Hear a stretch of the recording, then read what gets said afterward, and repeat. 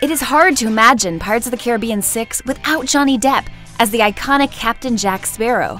Johnny Depp has been impressing us with his performance since the first part. His performance in the first movie made him an overnight superstar, and his popularity as Captain Jack continued to skyrocket over the next few Pirates of the Caribbean movies. But things started changing when Johnny's ex wife Amber filed a case against him. She accused Johnny of domestic violence and abuse. This was the very reason Pirates of the Caribbean franchise was taken back from him.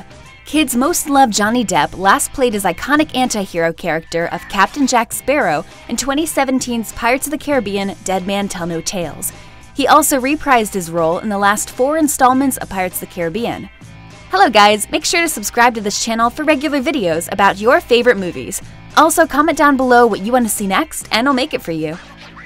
On April 16th, the Spanish newspaper asked Johnny Depp if he misses playing Jack Sparrow in the Pirates of the Caribbean.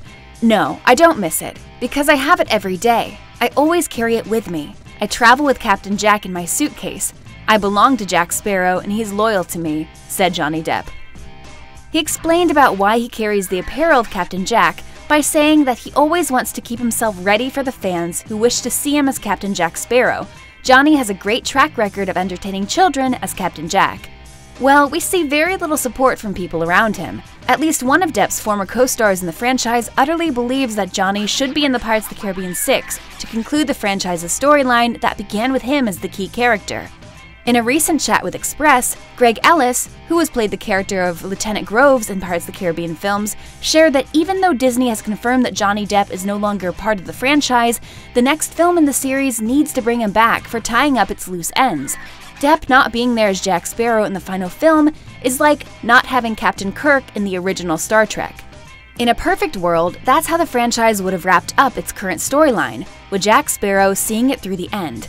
But back in 2018, when domestic violence allegations against Johnny Depp surfaced, the studio's production chief, Sean Bailey, confirmed to The Hollywood Reporter that neither the sequel to of the Caribbean Dead Man Tell No Tales nor the spin off set to star Margot Robbie and written by Christina Hodson will feature Jack Sparrow.